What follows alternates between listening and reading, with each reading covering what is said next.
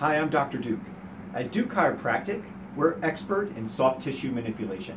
That's why many patients seek us out in the first place. We specialize in a technique known as active release technique, or commonly known as ART. ART is a way to improve patient mobility by releasing scar tissue and adhesions within the tissues, actually helping restore normal texture and tension. The result is pain relief and improved mobility, so it helps people improve their athletic performance. Some of the doctors at Duke Chiropractic also help educate others in the area to help them become certified and licensed in ART. Our patients know we're expert because they feel the difference.